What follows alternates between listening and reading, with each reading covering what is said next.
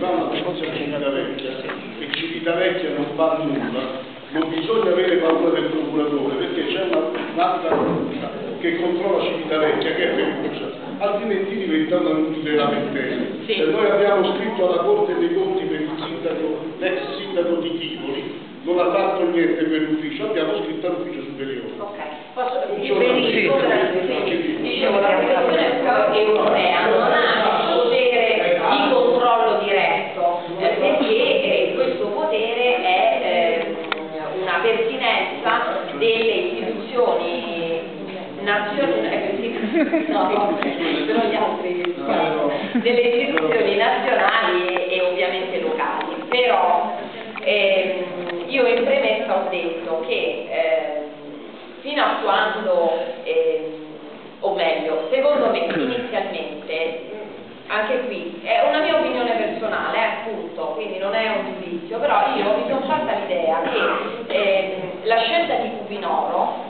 eh, fosse perché Cupinoro era fuori da Roma, quindi eh, chiaramente a Roma c'era l'opinione pubblica, i giornali che erano molto attenti, si creavano subito manifestazioni con 20.000 persone, c'erano tutta una serie di problemi vedi incrociati, allora l'idea secondo me, secondo me, magari sbaglio, era di spostare l'attenzione sulla provincia, pensando noi scegliamo una situazione più depilata come Cupinoro, eh, alla fine eh, riusciremo, secondo me, a farla franca. Cosa è successo però? Che chiaramente eh, si sono impattati con una realtà che eh, si è rivoltata, no? quindi Bracciano, anche Cerveteri, eccetera.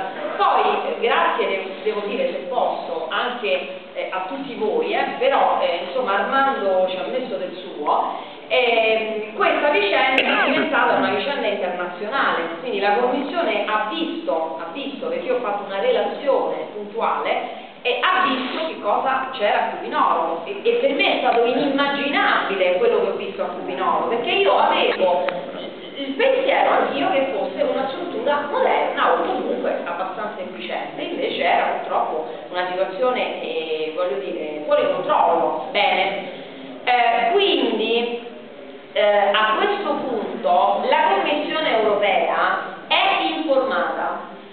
Che questo che cosa vuol dire? Vuol dire che le autorità italiane, se fino a questo momento mh, hanno potuto eh, andare avanti, come dire, in una maniera un pochino leggera in alcune situazioni, lenti, eh, un po' di equivoci, situazioni non perfettamente trasparenti, cittadini non perfettamente informati, coinvolti, eccetera, a questo punto non lo può più fare perché conosce la realtà del territorio, di tutto il territorio, in, particolare del Lazio.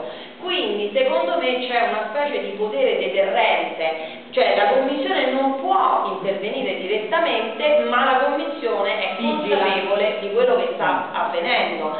Quindi comunque la Regione Lazio, il Comune di Roma innanzitutto e lo Stato italiano devono dare delle risposte, non possono più fare finta che tutto va bene, perché, perché ormai lo sanno tutti, anche a livello di Commissione europea, che le cose non vanno bene, c'è la procedura di infrazione. Diciamo che per quanto mi riguarda io provvedo ad aggiornare praticamente giorno per giorno eh, la Commissione di tutto quello che non va eh, in provincia, nel Lazio, a Roma in particolare e quindi non possono più nascondersi dietro un dito, pertanto io non penso che ci saranno delle fughe in avanti, perché, eh, perché chi fa una fuga in avanti in questo momento si mette nei guai, perché è sotto i, i- i riflettori generali.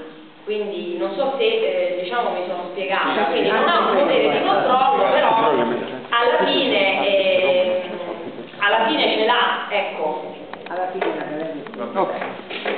Yo